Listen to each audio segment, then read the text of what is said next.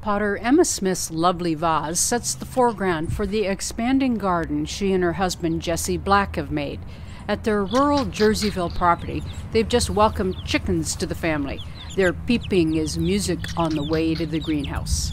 The greenhouse was built with salvaged conservatory glass, and though it's unheated, it's already been providing salad greens since January. Just beyond the greenhouse is a chicken coop waiting to be occupied. Though the original backyard was just grass, the couple have been improving soil by layering organic material over cardboard. It's called the lasagna method. Since improving the soil, they've added fruit trees and raspberries to their vegetable plantings. The couple's store, Black and Smith Country General, specializing in Canadian made pieces for the home, is just online for now, so working outside during the COVID shutdown has been a pleasant diversion.